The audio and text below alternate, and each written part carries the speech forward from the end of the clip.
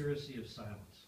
You know, code of omerta among doctors. It's like reporters, except for me, I guess. But um, no, there was a doctor who testified.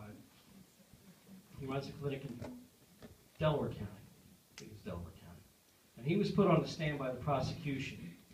He runs a Planned Parenthood clinic, and um, he was put on the stand by Ed Cameron, the, the assistant district attorney, to give the jury a sense of compare and contrast a good abortion clinic as to opposed to that crappy one that Gosnell was running down there on Lancaster Avenue.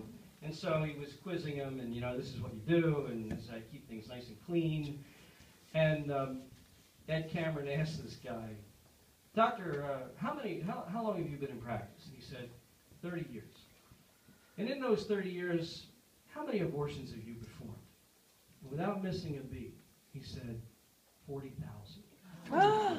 and at that moment, if you're a Catholic pro-lifer, you're looking at one of the world's worst mass murders. That moment. It's funny how it doesn't register to a lot of people. Not missing a beat. Yes, ma'am. mostly abortions paid for? Well, um, in Gosnell's case, uh, cash. A lot of it was cash because he ran a mostly cash business. Um, when the when the police went into his house, they found a, a quarter million dollars in cash hidden in boxes in his daughter's bedroom. Um, you know, his no wait abortions uh, for cash uh, is the way to go when you want to get rid of a problem.